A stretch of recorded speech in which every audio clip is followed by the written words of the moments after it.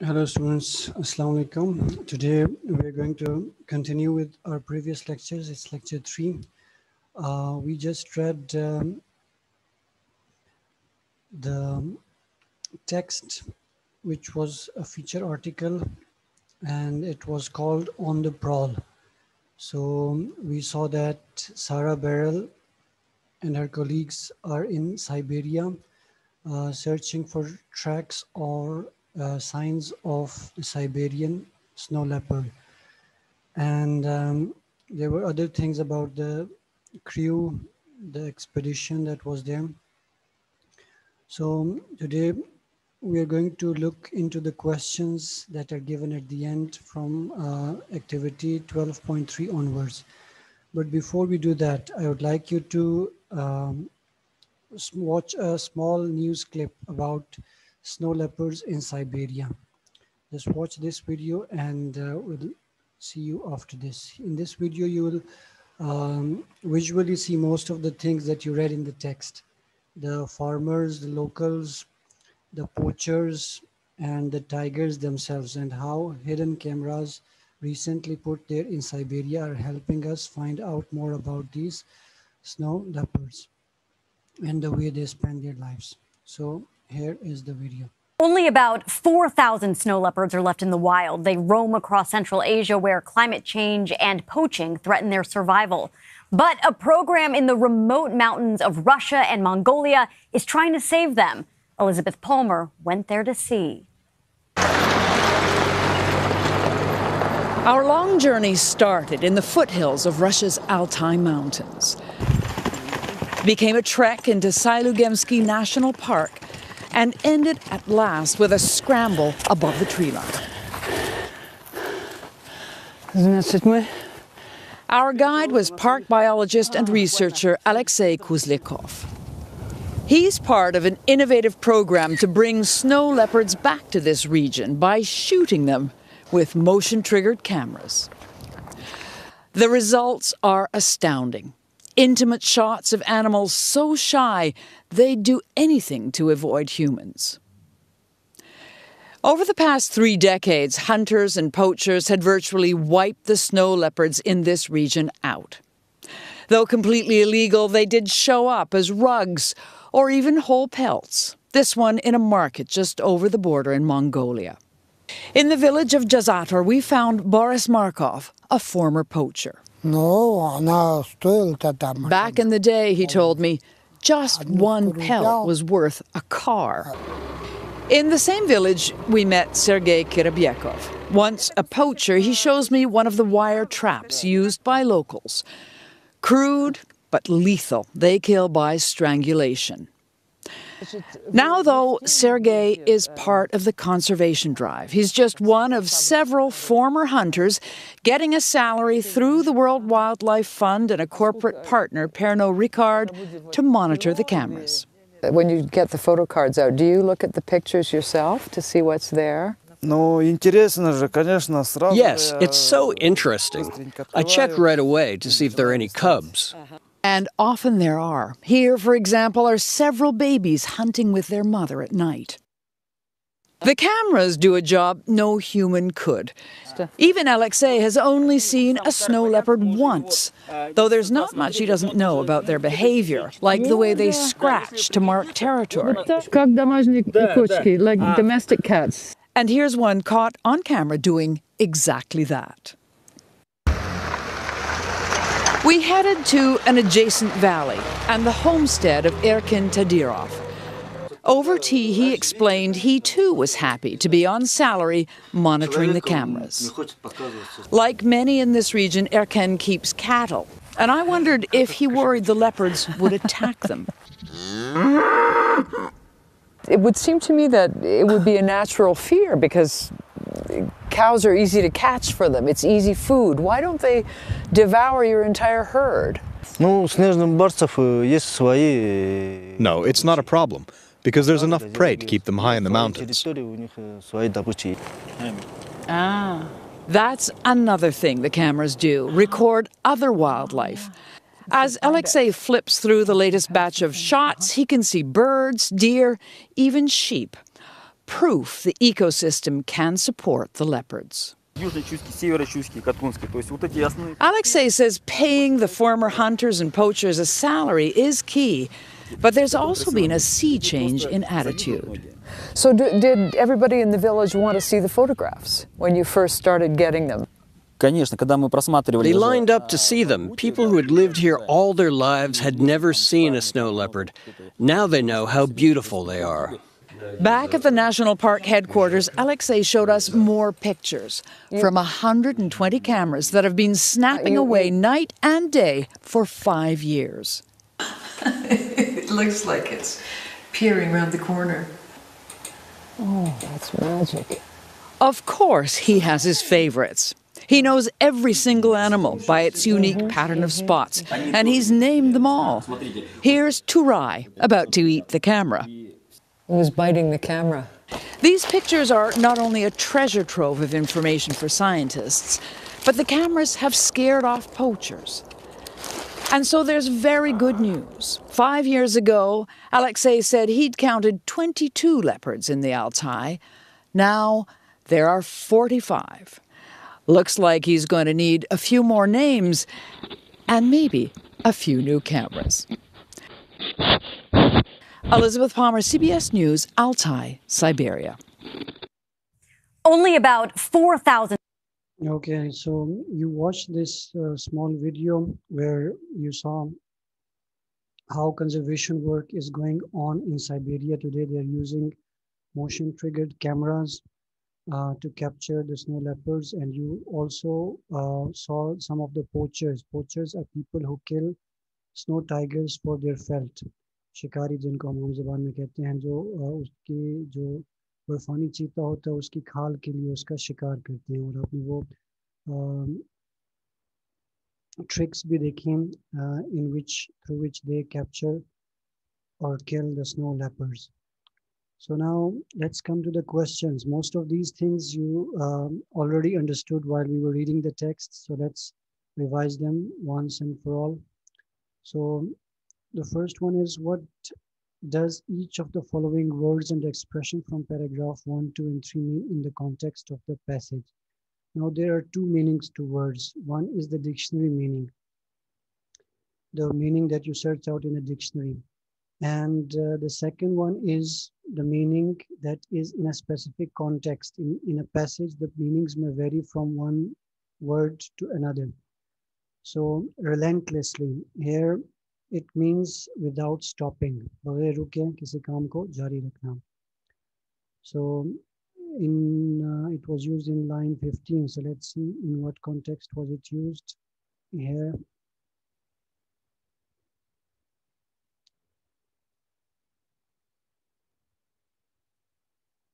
Okay, it may be in the second paragraph or they said it was on the third one. So it was something around line 15. Soviet engineers failed to tame the steppe that tracks down the Altai foothills and 1964 got spectacularly lost in the mountains and went native. This going native, this is also one of the words that was there. And this word backbone is also one of the words that uh, we are to find out the meaning of. So uh, relentlessly without stopping continuously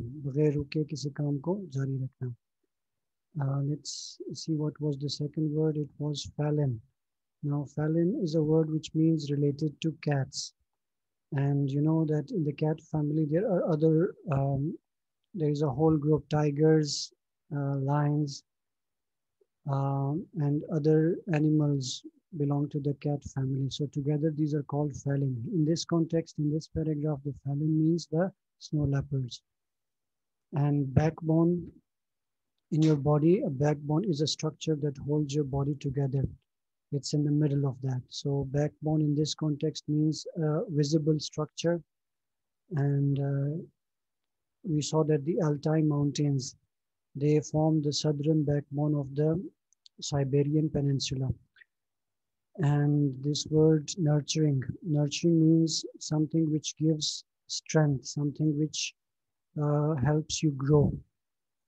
ऐसी कोई चीज़ जो आपको भी फूलने में मदद देती है गज़ा के तौर पे आपके काम आती है that is called nurturing so इस कॉन्टेक्स्ट में यही सेंस में आया था कि जो साइबेरिया के जो सर्द इलाके हैं they are not nurturing for life वहाँ पे ज़िंदगी गुजारने के लिए uh, कोई मुनासिब हालात नहीं हैं and number E went native. Went native means that some person who uh, goes to some place with some purpose and he likes that place and becomes a native of that place. Just like the Mughals came to India and uh, they went native.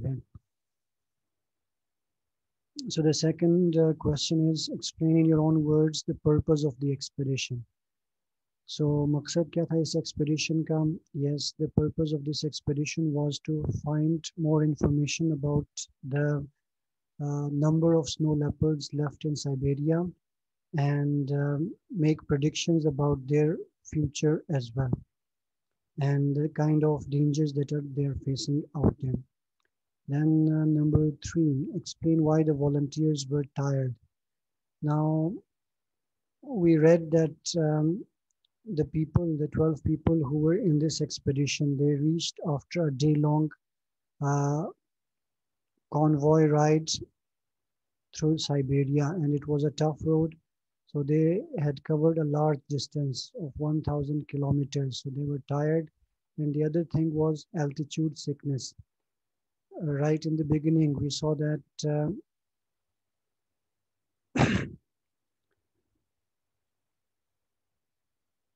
when they arrived there, they were not habitual of these high altitudes. And in these high altitudes, because there is lack of oxygen in the air, uh, yes, we found that relentlessly here, where the steppe relent rolls relentlessly towards the horizon. So the steppe going relentlessly means that without pausing, without ending, the the grasslands continue on and on and on towards the horizon. You travel for many days into it and still it goes on. So here is it about the Altai Mountains.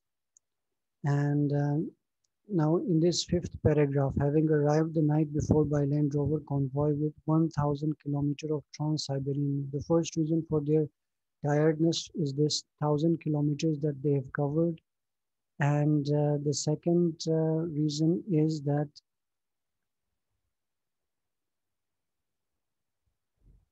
high altitude air having robbed most of their sleep. They couldn't sleep the night because uh, the air was, the air had less oxygen and they couldn't get their proper dose of oxygen and they couldn't sleep. They had headaches. This is called altitude sickness. So this is gleaning out information from the text. Text में से information ऐसे ही निकाला जाता है. So जब आप पढ़ते हैं पूरे text को you should be able to do these stuff. Then question number five, uh, sorry, question number four. Why do you think that the first snow leopard wasn't photographed until the late 1970s? In the text, we read that the first snow leopard was tracked in Pakistan in the 1970s. Before that, no one had captured a picture of an um, a snow leopard. What is the reason for that? The reason for that is that uh, snow leopards are very shy, as you saw in the video as well. They uh, they avoid humans. They do not go near humans, and they are very alert and uh, very cautious about what kind of creatures they go near. So here, the first photograph of the wild snow leopard wasn't taken until the 1970s in Pakistan and the animals only recently being recorded for study. So the reason this, now this information is not given here. Here we have to infer, as you see, the inference and implication. But they haven't told us why it wasn't photographed, but we can make uh, guesses about that. कि हम अंदाज़े लगा सकते हैं। उन्होंने information directly नहीं दी लेकिन हम उसके बारे में थोड़ा सा अंदाज़ा इस तरह से लगा सकते हैं कि स्नो लेपर्ड्स इंसानों के करीब नहीं जाता इंसानों से दूर ही रहता है। एंड उसकी इम्प्लिकेशन ये है कि फिर 1970s तक उसको उसकी तस्वीर नहीं ली जा सकी थी। In 1970s the picture was captured in Pakistan so this is one aspect Uh, we come to to the next Explain what is meant by the phrase armchair conservationists. So conservationist वो लोग जो कुदरत के तहफ़ पे यकीन रखते हैं और इसके लिए काम करते हैं and armchair means a person who doesn't go out into the field जो अक्सर घर पे रह के सोचता है दुनिया में जो दूसरे जानवर हैं उनकी बका के लिए फ़ील्ड में जाके काम नहीं करता सो so, उसको हम फिर आर्म चेयर कंजर्वेशनिस्ट कहते हैं सो so, ये जो लोग थे जो इस एक्सपीडिशन पे गए इसमें से आपने देखा कि जो सारा बैरल है she is on a vocation उसको दो हफ़्ते की छुट्टियाँ थी तो उस दो हफ़्ते को उसने गुजारने का इस तरह से फैसला किया कि वो इस एक्सपीडिशन का हिस्सा बने और उसने बहुत कुछ सीखा इस एक्सपीडिशन से।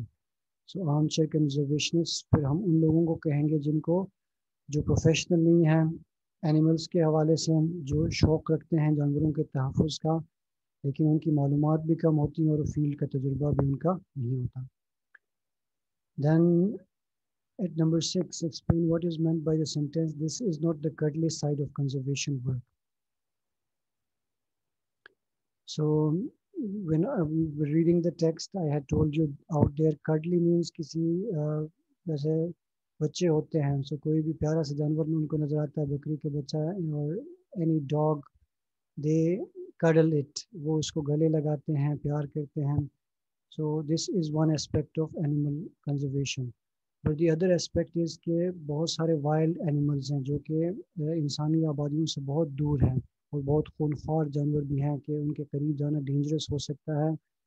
सो इनको इस एक्सपेडिशन में बहुत सारी मुश्किल देखनी पड़ी। They had to track a long distance and every day they would start in the morning और कुछ ही आसार उनको मिलते थे लाइफ के वहाँ पर।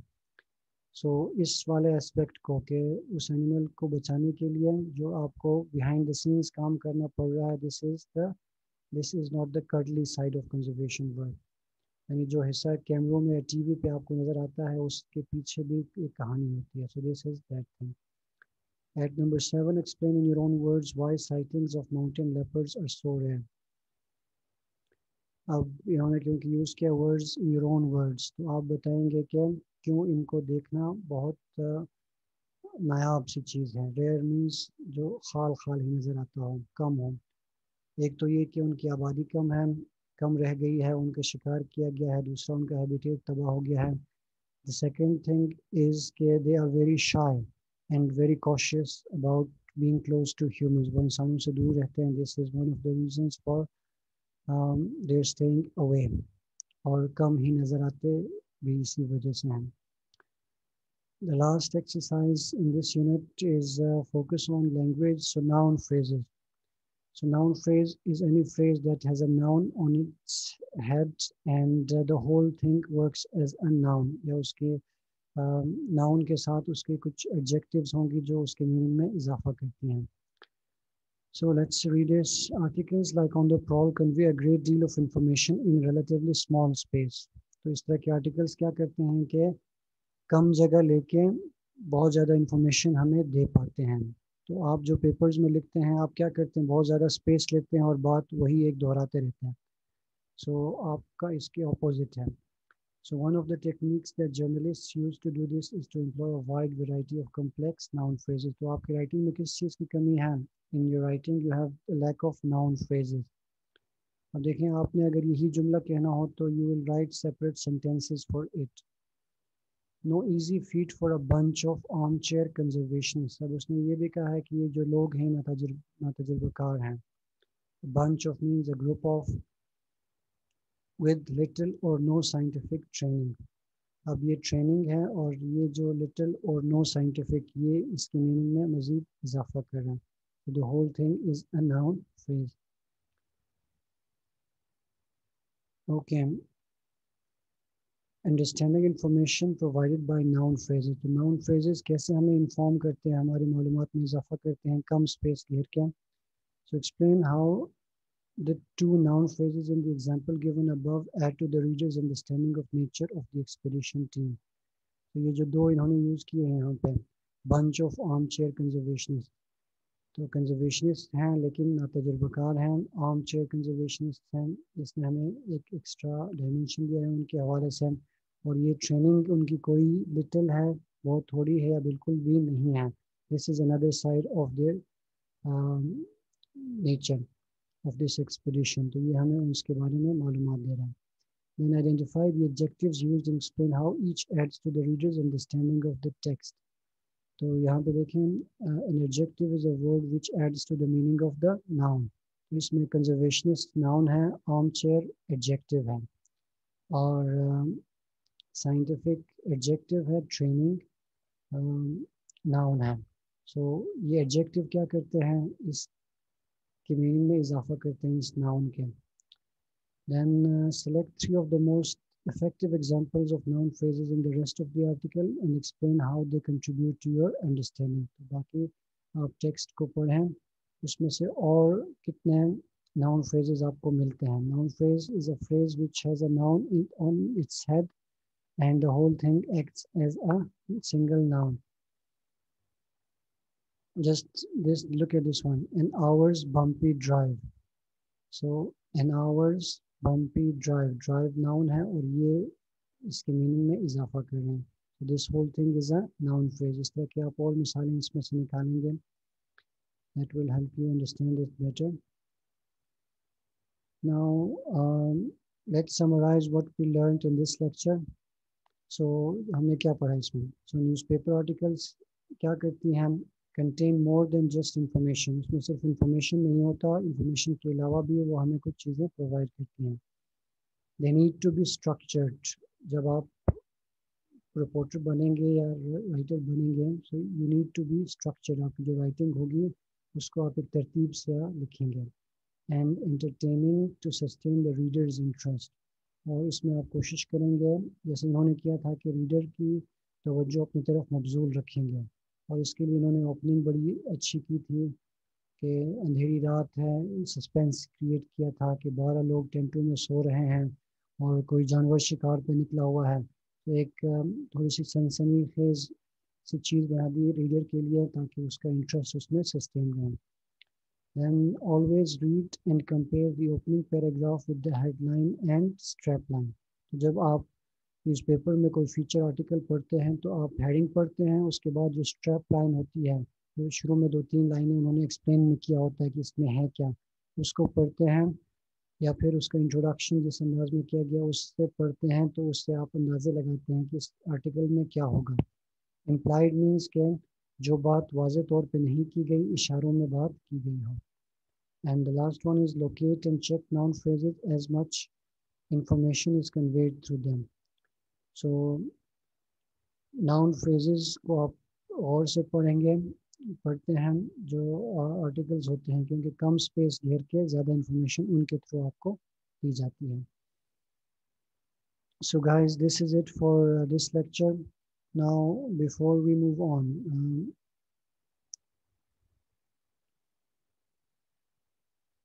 lecture khatam karne se uh, we'll see a small video where um, you'll see the snow leopard, how it hunts in the mountains. This is a small, very small clip. So watch what kind of space is out there. Markhor gather for their annual rut.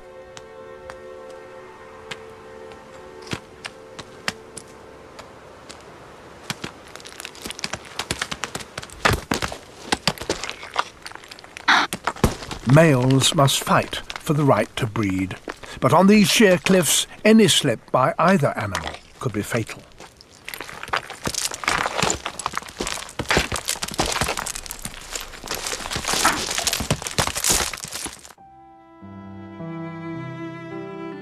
A snow leopard, the rarest of Himalayan animals. It's a female returning to her lair.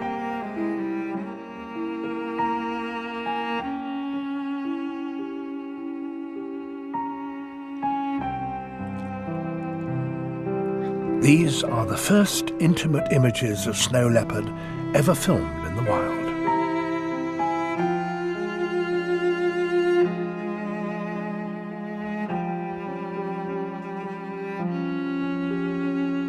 she greets her one-year-old cub. Her den is well chosen. It has exceptional views of the surrounding cliffs. On these treacherous slopes, no hunter other than a snow leopard would have a chance of catching such agile prey.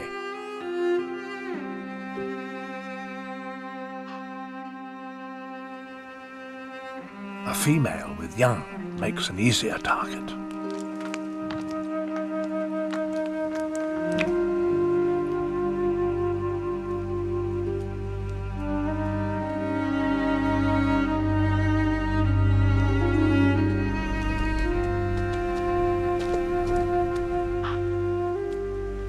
Her large paws give an excellent grip, and that long tail helps her balance.